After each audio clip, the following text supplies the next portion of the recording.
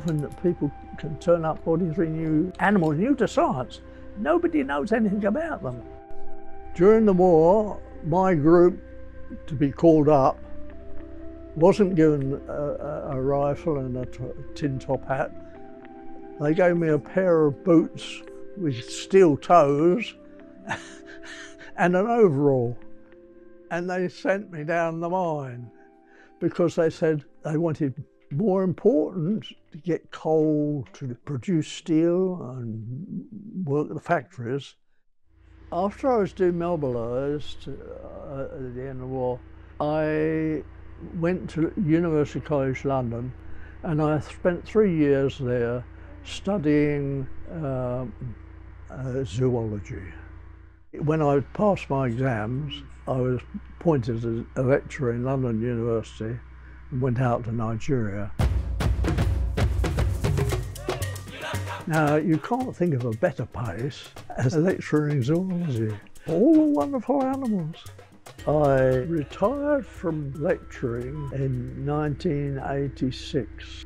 The things that I, I, I like to work on are called copepods.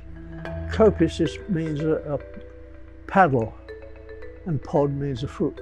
So copepods are, are little animals with paddle feet and they swim about paddle feet. The way I catch them is to use a bottle of soda water or, or, or lemonade. I take a bucket, put a little bit of seawater in, a bottle of lemonade, and put the seaweed in. Shake it. These little animals, these copepods, are sensitive to the carbon dioxide in the, the soda water. And that sends them into a relaxated state sort of as if they're anaesthetized.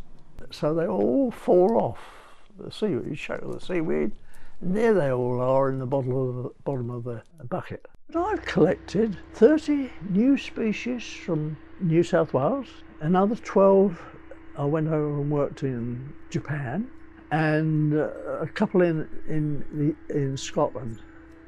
So what, 43 new species.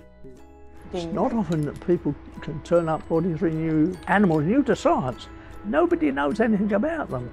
But I've spent now about 36 years studying them, so I know quite a lot about them. And I'm writing a book about them. See, I'm still doing my research. I've never retired.